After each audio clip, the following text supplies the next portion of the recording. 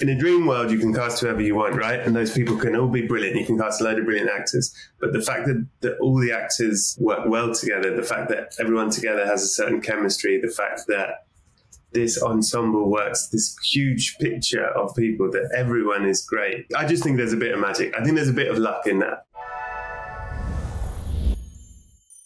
The end in terms of Ted's story, we always knew it was a three season thing where in the end Ted is going to leave. Jason had a few things where he's like, this definitely happens, this definitely happens, this definitely happens. And then the rest is you finding ways to those markers. And along the way, lots of things change and inspire other things, but these markers remain. They never changed.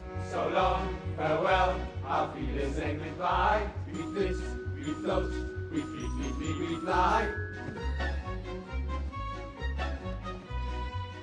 one of the uh, sort of joys and challenges is that all of the characters are so great and all of the actors turned out to be so great. Every character, even people that have had one line, you sort of go, "Oh, we could do more with that." Like every everyone felt felt so realized. You get to the point where you have a scene where someone delivers a paper and you start thinking, "Let's not have someone deliver the paper because we're going to fall in love with that character. They'll be great, and then we're to have to write we're to have to write a whole arc for the guy that delivered the paper in American Werewolf in London, which you, if you ever watched that, I think one of the reasons it's like a classic is everyone, even the people that have two lines, three lines, they're all they're all characters. They're all fully, they're all funny. They're all interesting.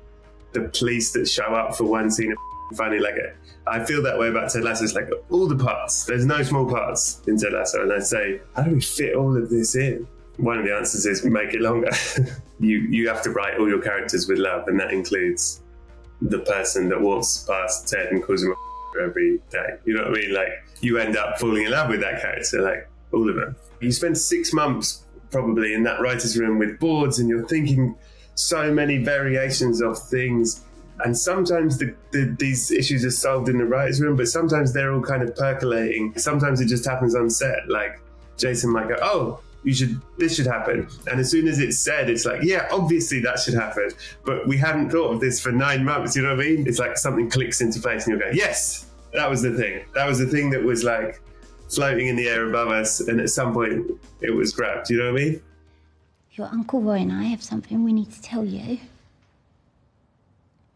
Okay uh, what? We're going we on a break up.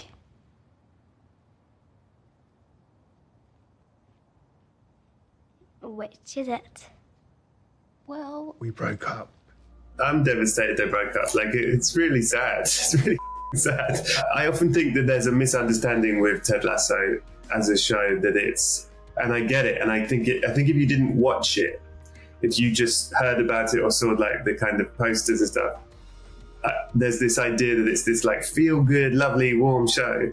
And I think it is, but it's also quite dark and, and has quite a lot of darkness in it and heaviness. And really, I think the show was ultimately about people trying to be better, and that's it. Like, as in, and that, and in some cases, they don't get very far, but at least they're trying. And it's not as sort of warm and lovely and magical as it is. It's not a fairy tale. It doesn't go like, and here's everyone's happy ending. It's like they win the game, they don't win the league. You know, they win the battle, they don't win the war. It's like it's it's still in the middle of the story. Like nothing, a lot of it isn't resolved really. But what we ha- what we have seen is that everyone, to varying degrees, is slightly better than they were, and they are still trying.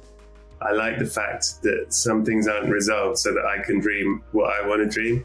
Now, in my dream, there's a lot of Roy and Keeley, and there's a lot of Roy and Keeley and Jamie, and the thruple is is, is absolutely fine with me. I think if, I think in, in my dream version, you know, it's a throuple. It's mostly Roy Keeley, but Jamie joins in occasionally. You know what I mean? like there are people that like, is the end of the show a dream? Is it not a dream? And and I've heard some people have answered that, and I I always think like we shouldn't answer these things because it's kind of up to you. Like I like that you make this thing and then you hand it over to the audience and everyone could take from it what they want it to be. I didn't have many scenes with Juno this year, and that was so sad.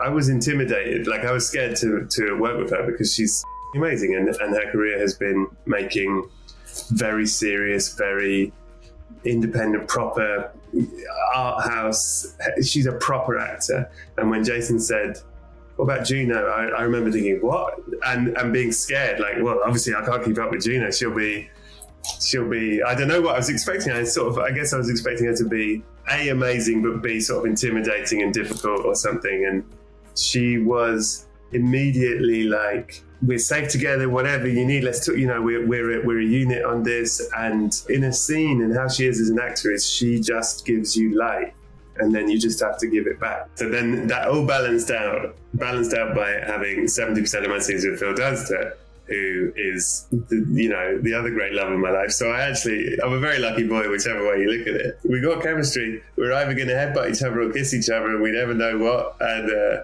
Phil is disgustingly talented. He can sing, he can dance, he can do front flips, he can act, he can do comedy, he can do sound effects, he can he can play football very well. Like he, there's really nothing he can't do other than believe in himself enough. In a dream world, you can cast whoever you want, right? And those people can all be brilliant. You can cast a load of brilliant actors. But the fact that, that all the actors work well together, the fact that everyone together has a certain chemistry, the fact that this ensemble works, this huge picture of people that everyone is great. I just think there's a bit of magic. I think there's a bit of luck in that. For the past year, I have busted my trying to change. Apparently I'm dumb because I'm still me. He's completely changed my life. It's changed my life in in all the ways. Like you know, I used to just make stuff and then it's like kicking it down a well. Like see ya, you know. And so to to to be in this thing that people have watched, and it and it's seismically different. I don't know how long the window is open. You know what I mean? But it feels like there's a window where, for however long it might be, a few months, but where I can at least get in the door to talk to certain people that I might be like, oh, I have this thing I'd really like to show you or make with you. So that's very exciting and, and it's a real privilege. And like I said, no idea how long that window is open because it could close tomorrow and you go, all right, well, that was fun. it's just weird. It's just weird. I don't know if you ever get used to it. It's weird because you forget and you're just sort of living your life and then suddenly someone, you're like, oh, oh, right. Oh, yeah. You know what I mean? You think, oh, I'm just trying to buy some bananas. you know, people are very nice, and you, you always have to just be like, wow, well, you know, thanks. But it's odd. I don't know if you get used to it. Why did Bernard get you toothpaste and mouthwash for Christmas, babe? Because he told everyone my brother's rancid. A teen school, high school drama with Phoebe would be great, but I'd, I'd like it also to be a musical, a zombie musical. You wouldn't not watch it. I wouldn't mind making a a religious drama with uh, Higgins' son, who's the priest, and I would also be open to in uh, Beard After Hours uh, when he gets chased by the scary man and the scary man with the woman with the red dress, and it turns out they're a couple. I would like to follow their relationship now they've had the baby, the ins and outs, and his work and his work life and her work life. But listen, I'm just one of the writers.